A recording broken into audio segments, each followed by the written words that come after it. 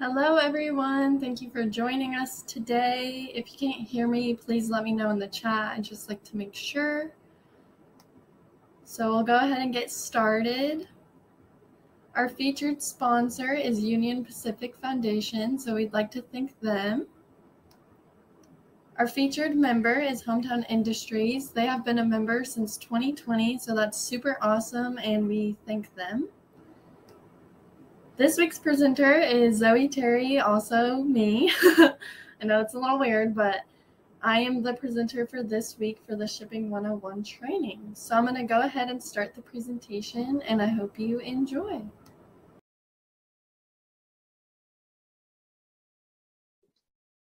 Hello, and welcome to Shipping 101. First off, if you have any questions, please put them in the chat as we will answer them at the end of the presentation. We will answer all questions, so do not hesitate to ask away. Now let's begin.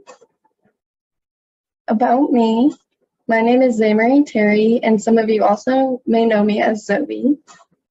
I am the e-commerce and retail product specialist for the Grow Nebraska Foundation.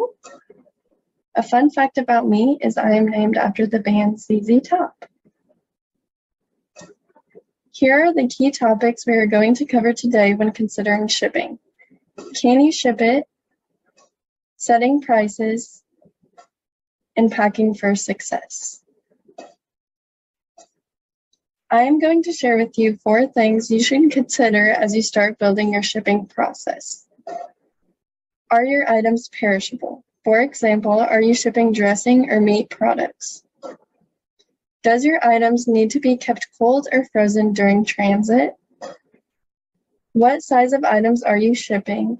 Knowing the size of the items you are shipping matters when coming to picking your box size and figuring shipping cost. The last question to ask, are your items heavy? The weight of your package plays into your shipping cost and when choosing your shipping provider. There are many different shipping providers, but these are the three shipping providers we work with here at Grow Nebraska in our shipping department. We have FedEx, USPS, and UPS.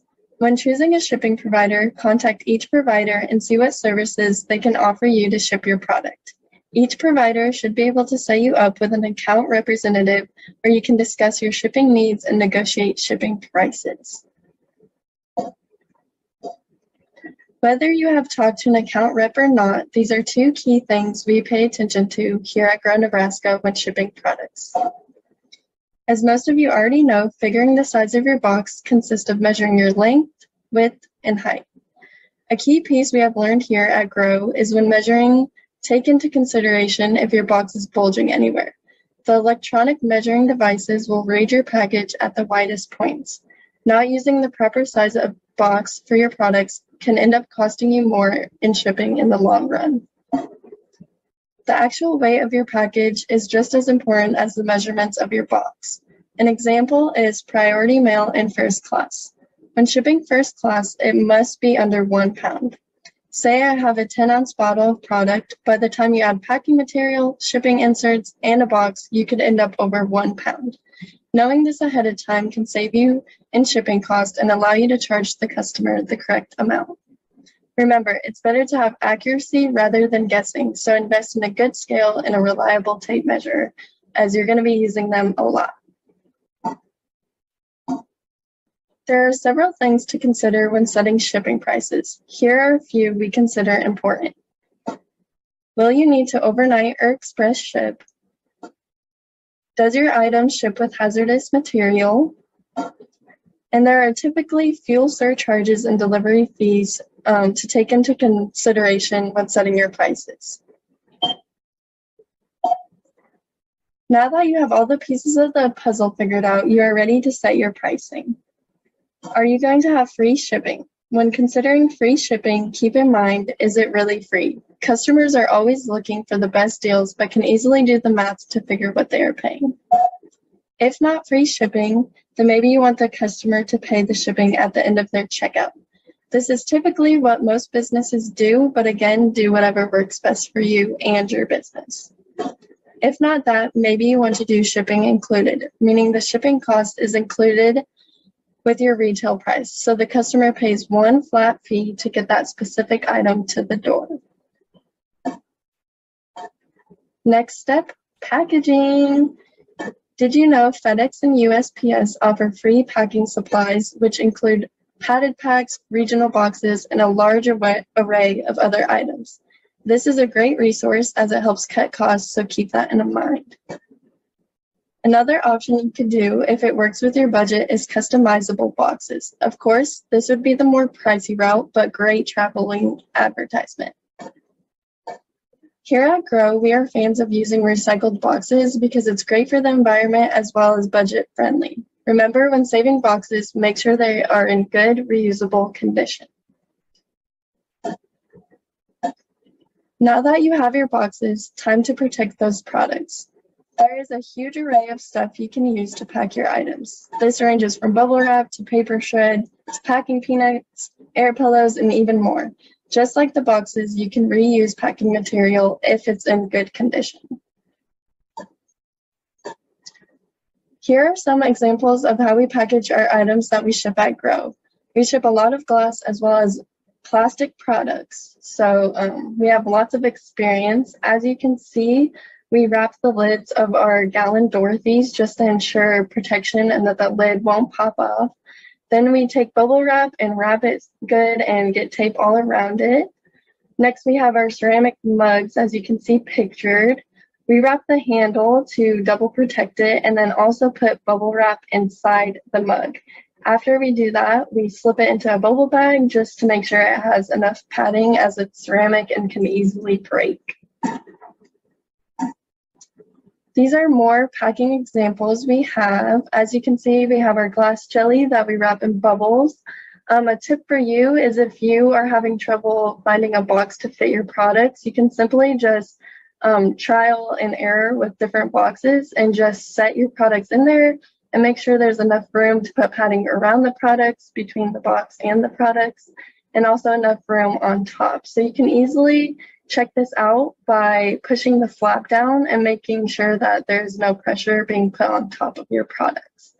And another note is to make sure and put padding on top as customers are most likely going to use sharp tools to open their package. So you want to make sure they won't cut any of their items. And as you can see, our promotional items we put on top just to ensure that the customer will not throw them away. So this leads into the promotional items. These are key to your packages and help engage the customers with your business. Your promotional items should be what works best for you and your business as everyone is different. Here are some of our examples from Grow. We have a Nebraska history brochure, our discount card, which I highly recommend including in your packages if possible, as it will attract customers to want to come back and shop more. We also have our gift basket card that includes our gift box services, as well as our subscription card, which lets customers know they can subscribe and get a refill of their chosen product monthly. Lastly, we have our fun little treat bag, which could be lots of different candies or treats. Here at Grow, we usually throw in some chocolates or microwavable popcorn. But again, when concerning what promotional items to throw in, you do what will work best for you and your business. Here is today's training overview as we have made it to the end. Can you ship it? Take a step back and look at the size and weight of your products, as well as if they are perishable before starting the process. Next, set those prices. Don't be afraid to negotiate those prices and talk with your shipping representative when setting prices. And also figure if you will have free shipping, shipping included, or have your customer pay shipping at the end. Again, whatever will benefit and work best for you and your business. Lastly, packing for success, choosing the right box, materials, and promotional items. It's all about customer experience.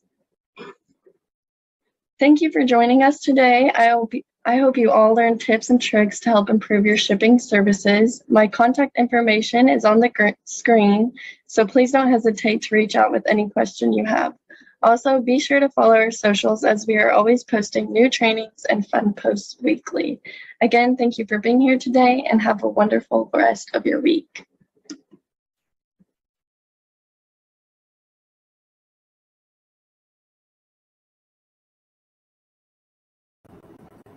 Hello, everyone. That was the end of the training, and now we're going to answer some questions. I have Clarissa here with me to help out. So, our first question was Did you say something about box being higher in one location? So, this I was meaning um, if your package is bulging, when you measure, you kind of have to measure it higher up because when they go through the things, um, it detects it and will know that if your length and width and height are off. I don't know what just happened. If that makes sense. Do you have anything to add to that? Yeah. So as an example, if you pack a bunch of Dorothy or something and your lid doesn't shut flush with how the box is designed, then when it goes through the reader, you know, you're trying to read straight, but it'll read over the hump. And so the highest part of the hump is what it's going to read. So if you're sending a 12 by 12 by 12 box, but technically the hump makes it a 12 and a half, they're going to charge you accordingly. She did a better job at explaining that. um, Tanya asks, for free packing supplies. Do I need a business account with the carriers, or can I just use a regular login? So you can actually just continue as a guest and create an account. You don't necessarily need a business account. Anything to add to that?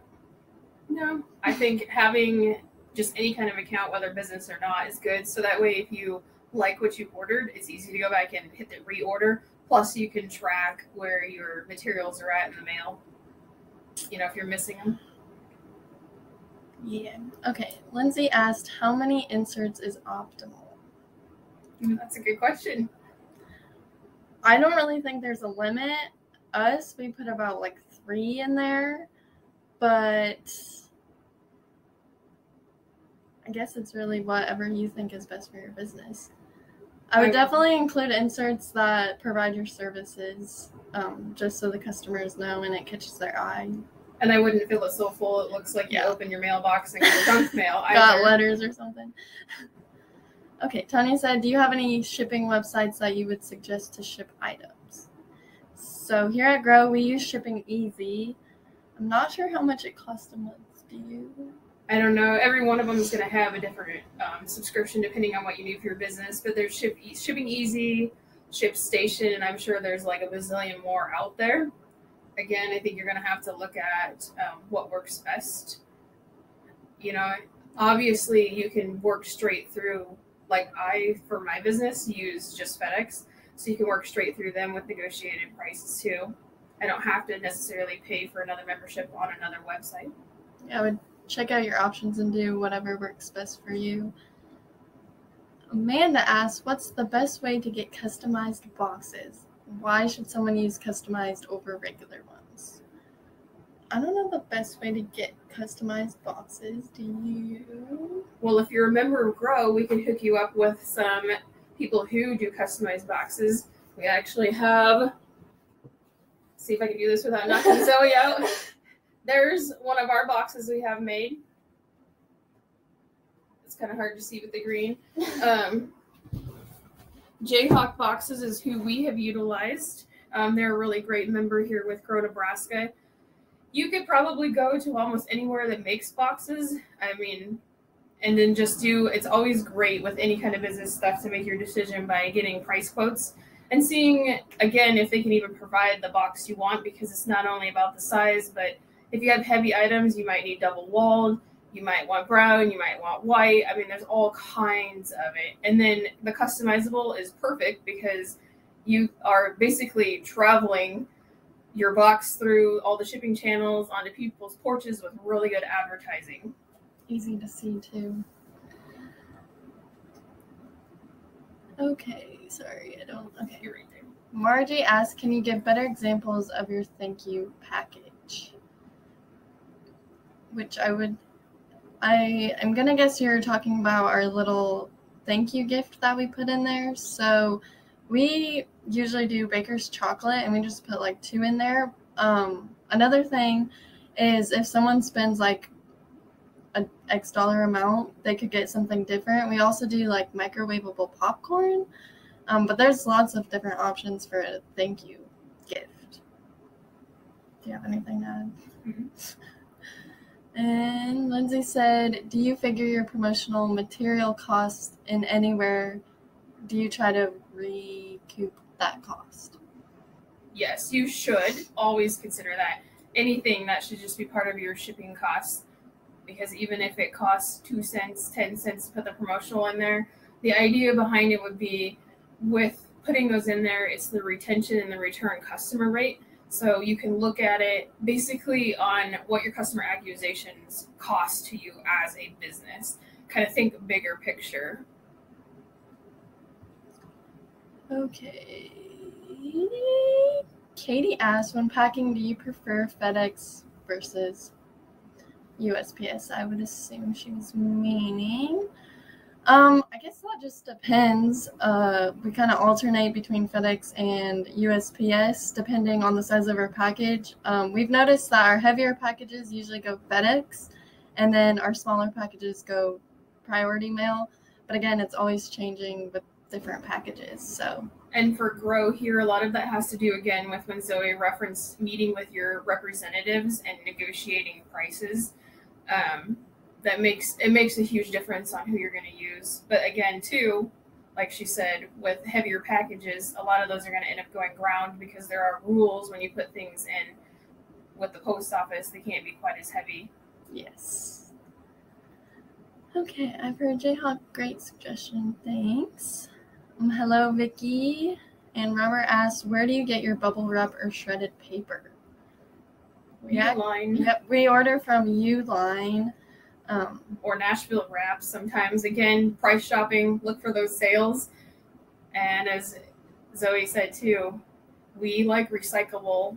yes, we all, Lots of people drop you can ask your friends or family for stuff. Just make sure it's in good shape. You know, not smelling funky or ripped or anything like that. Um, Tanya said, "Do you have any suggestions on what products would set as free shipping, shipping included, or being charged at the checkout?" It's a great question. Do you want to take that one or do you want me to? You got it. I would say it's based upon your preferences and how you want to advertise. So, for example, if you have a small item that costs you $9.99, but with as everyone knows, shipping prices are increasing, and by the time you get it in a box, it weighs you know a pound and a half, and that shipping is going to be $15.99. That would be a great time to say shipping included. Just remember, if you do that kind of stuff, take your price tags off everything when you ship it because that's where people sometimes will read that and be like, wow, you know, I got gypped by that company or something.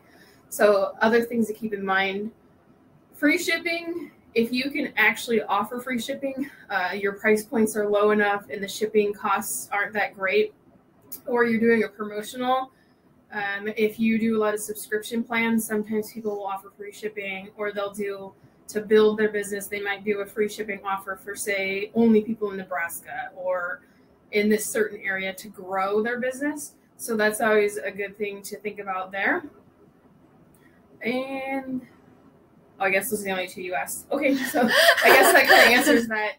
Again, don't um, go diving off the deep end when doing this kind of stuff until you know your margins and and what your business can handle. Because the last thing you want to do is price yourself right out of business because you're trying to offer free shipping or you know cut corners or buy the coolest advertising box on the planet. So just keep that kind of stuff in mind. It's kind of like trial and error. Um, there is some mention of extra delivery charges. How do you know about that? That's a good question. Again, that's where you need to talk to your reps to see if there are. Um, unfortunately, at Grow, we've learned by trial and error. We have mismeasured boxes before and gotten charged probably way too much money. I guess that's how they keep in business. Uh, so, this is why we're here to try to help warn you guys and teach you guys that those things can happen. And so, again, just really quiz your reps if you can get a hold of a rep. Um, stamps.com is another thing that a lot of people like to use. I don't know. I don't have much experience with it. If you can get reps through there, but if you can definitely work with a direct rep, say like I do with my business for FedEx, I am at least able to ask those questions. And then the nice thing about having a rep in your pocket is you can go to them directly if you have billing issues and work some of that stuff out too. Uh, Margie Stamps, stamps.com. It's like a post office stamp. You want to type that in there?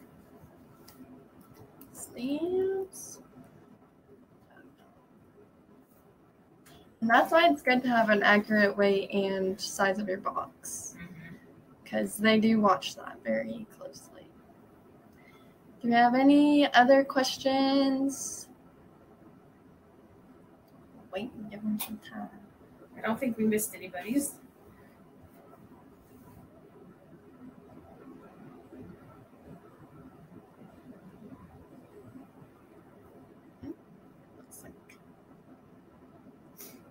Good question. Why should I use to ship something cold like meat? So again, on shipping cold items such as meat, it's going to depend on the shipping route of choice. Uh, a lot of people can do like an overnight, what you can afford, where your margins are, and what the customer is willing to pay as well. If you're going to overnight it, you can probably get by with ice packs. Uh, for my business, unfortunately, I've only negotiated ground right now, so I use dry ice. And you also have to realize how much dry ice you need per pound of meat per distance of shipping um, and then figure in some extra in case it gets lost. But then after some point, uh, you know, loss is just lost, and then you got to deal with the customer service from that point. I think it's a good thing to also consider it with anything, whether you're shipping cold or perishable or non-perishable. We tend to lose things when they get shipped, so always um, think about what your return policies are, what you're going to do from a customer service standpoint. If things arrive damaged, I know that we can negotiate a lot of times with shippers on damage, but sometimes there's rules. If it says delivered, you won't be able to get any money back. So, another thing to consider when looking at how you're going to handle shipping, it doesn't matter who you decide to use, things happen like that. All the time. Yep. Uh, they can provide. Oh, sorry, I should read that. Amanda says, I've heard the Jayhawk boxes can help with packaging for cold items. Is that correct? They can work with you on the boxes. Uh, they can recommend a different company to get a recyclable liner. There are many on the market. I think right now they only offer one. So, again, you need to probably do some product testing and know your distances and, and again, your shipping method, whether you're ground, so it's going to be a few days versus express and see what you can get by with. Uh, Margie, can you get dry ice at a cheaper rate than going to like a drugstore? Um, probably if I was large enough myself. I know that there are larger companies that can negotiate and get dry ice in. From my research that they've done, I would have to get like a, a very large two week supply. And of course, as it dissipates off, you know, the use of it's going to be less and less. So right now, I'm just going into the store as well and purchasing it. I think down the road, hopefully, we could figure something out like that. It'd probably be a great project for Grow Nebraska, honestly. We could renegotiate some dry ice prices to share with with each other. But unfortunately, you have to be ready for a large supply right off the bat. Would it be helpful or okay if we dropped off a few of our small shipping customized box for you guys to use when we ship our products for our advertisement? Yeah, I think that'd be perfect, Rhoda. That's a very smart idea. Yeah, that's good. And then if any of you are shipping items through Buy Nebraska or Grow Nebraska because you're online with us and we have it in store and you want us to stick um, shipping inserts in those packages, feel free to drop them, mail them over to us too, because we'll gladly stick them in for help for advertising for you guys. Definitely. Tanya, what do you do when a package is lost or damaged? Okay. I guess I don't know the. You need to ask. So if your package is lost or damaged, you need to ask the customer for photos. Um, that's where again, if you write up like your return policy or damaged product policy, they need to know that like immediately they should be contacting you. especially if it's something that's perishable. That way, things can you can start get the ball rolling. Uh, that's also where you would take your photos, your documentation of the sale, and go start the process with the shipper that you used, and see what they can do to get you refund, etc. Again, each is going to depend on how it was shipped, if it was delivered or not, and what carrier you used. And sometimes you need to ask the customer if possibly their neighbor received it because that's happened with us. Sometimes it's just over at the wrong house. So, or we've had people that um, gave a PO box, so it ended up at their mailbox in town versus at the end of their driveway, or vice versa. yep. All kinds of fun things happen when shipping, so you kind of got to be prepared for a lot of things, and and some things you just can't be prepared for enough. 'cause once the package is out of the building, it's kind of up to the shippers. Great questions, guys. Yeah, do we have any more? I'm just making sure. So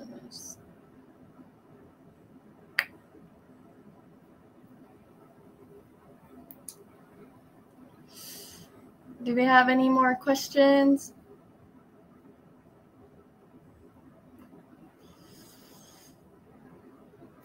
No. All right, well, thanks, guys. This is good questions, good dialogue. do my little outro. Thank you, Tanya. Thank you. We'll do our announcement. So we want to say thank you for joining our training. Here is Lindsay's contact information. She is currently on maternity leave still, so you can contact me at shipping at grownebraska.org or Clarissa at shipping or Clarissa at grownebraska.org. We both check the shipping email as well, so if it's easy to email one, we'll both get it. Just put that in there. Our upcoming trainings are March 17th, Why You Should Embrace Google. And then we have March 24th, Budget to Success. And April 21st is Selling on Third Party Websites. So you can go to grownebraska.org and get registered for those, and also look out on socials for the links as well. Um, we also have our Grow with Google series, which is March 2nd. Um, we have a Spanish version from 5 to 6, and then the English version is from noon to 1. So get Central signed up. Time. Central Standard Central Standard Time. I can't talk today. And then we also would like to shout out, shout out the Grow Nebraska Women's Business Center in Omaha. So be sure to follow their socials and check out their web their website as they're always doing trainings as well. So that is all for today, and thank you, and have a good rest of your week.